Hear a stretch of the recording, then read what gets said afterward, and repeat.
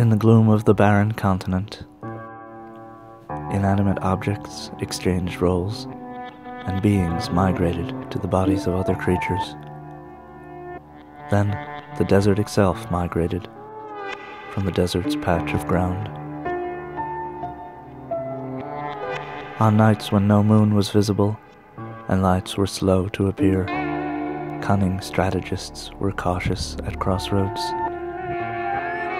because they knew from experience that talking to strangers after dusk is a danger that always risks being a trap, an evil, or a snare.